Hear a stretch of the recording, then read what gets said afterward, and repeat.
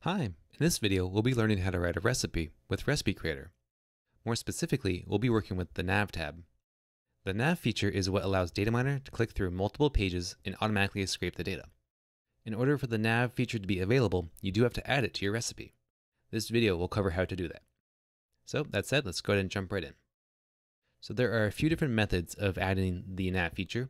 The first one is simply the Easy Nav Finder. So if you click the button, and that'll turn your mouse into, like, into a magic wand, and then you just simply want to hover over the next button, and then hit N on your keyboard. And then just like that, DataMiner finds the link for the next page. You can actually test it by clicking the Test Here Link button. As you can see, we are now on page two, so that worked just fine. And then we can simply click Confirm, and then we're good to go. At this point, you can then run your recipe, and then, or at this point, you could then save your recipe and run it, and then you'll have the option to do next page pagination. We do have a separate video that uh, walks you through on how to run that. However, the Easy Nav Finder may not always be available or useful for every web page. If there's ever a scenario where you're having trouble with the Easy Nav Finder, go ahead and try the advanced settings. It's pretty much the same process, just with a, with a little bit more flexibility and power. So what you'll do is click the green Advanced Finder button, and again it turns your mouse in, into a magic wand, so you want to hover over the next button, but this time you want to hit Shift on your keyboard. At that point, Recipe Creator is now suggesting different selectors. In our previous videos, we will go more into what a selector is. For this video, you can pretty much, pretty much just kind of do some trial and error by clicking the different items. So if you see page link, we give that a try. What we're looking for is data miner or a recipe creator to target or outline just the next page. So as you can see, a little too much is being highlighted. So let's try the A instead. As you can see, again, still too much is being highlighted. So let's try next. Ah, there we go. So as you can see, the next button is the only one being highlighted. So that's perfect. That's exactly what we want. So we can simply click confirm. So at this point, again, the recipe is pretty much, or the nav's finished. So you can continue to the save tab.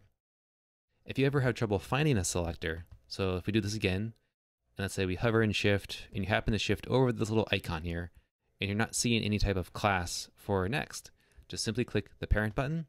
That moves you up the HTML and gives you more to work with. So again, we can now see that next, and we can choose that. So that said, uh, those are kind of the two methods of using the, um, the Easy Nav and then the Advanced. If there's ever a scenario where you cannot find a class for the next button, we do actually have an advanced advanced trick that should help. So if we go to a different page, you'll see that this website has the word next.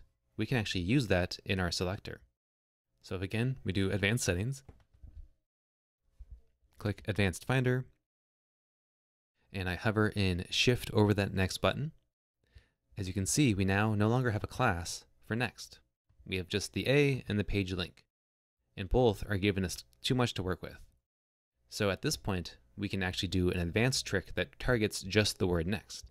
So keeping this A, we're going to tell DataMiner to go after the A element, but specifically the one that contains the word next. So what we'll type is leaving the A, we'll do a colon, which is the two vertical dots, then the word contains, and then open parenthesis, the word next with a capital N, and closing parenthesis. So now as you can see, we're once again targeting just the next page.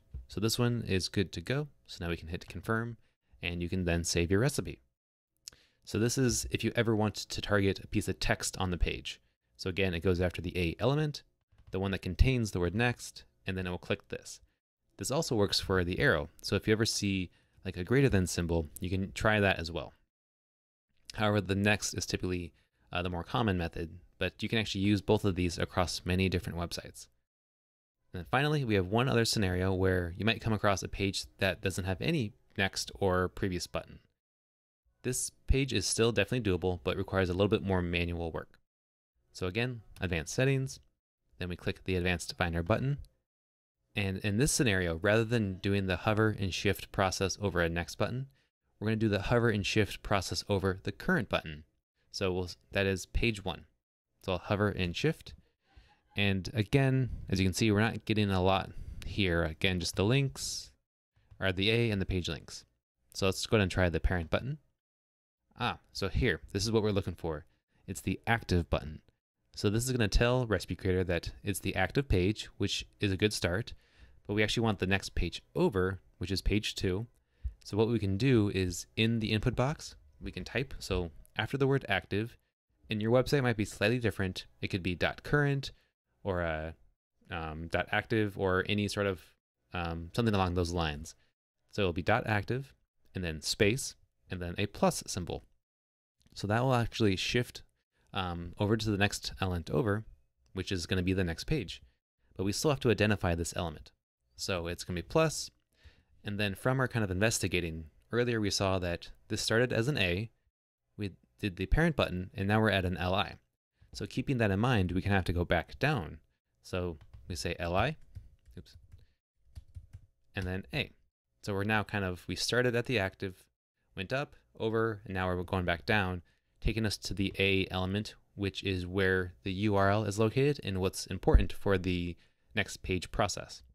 So now that we have this, we can hit confirm, and then we once again have a working uh, selector for our nav. So again, this is um, just a few examples, um, but these should cover for most of the, the different sites you'll see out there. If you ever have any questions or any issues, definitely send us an email. Our email is support at dataminer.io. Um, but that pretty much wraps up the nav section. If you uh, if you're still interested in learning more, we recommend watching our other videos. I hope this one was helpful, and thanks for watching. All right, bye.